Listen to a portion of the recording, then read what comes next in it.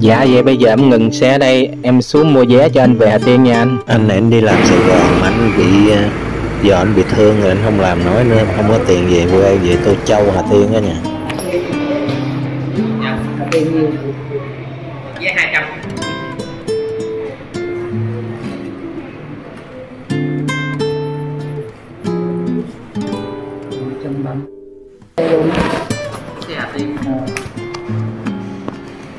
đọc con đọc con số điện thoại.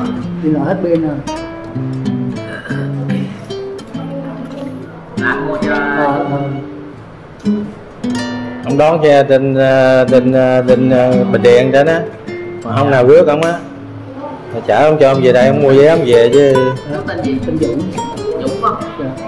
Rồi từ dưới khoảng cuối xe nha A14 á. Dạ. Coi có lấy vé không? có có. Lấy đợi lấy vé đi vé ha. Ờ. nói chung là vé này ờ, sức rồi không có đòi trả được nha. Trời ơi quý lúc đi con đi bỏ nha vậy giữ đi chừng nào đi xuống ấy đi. Lấy giờ xuất vé ra luôn chứ. Ở xuất ghế ra bây giờ Dạ vậy rồi rồi anh về nha Mạnh khỏe nha anh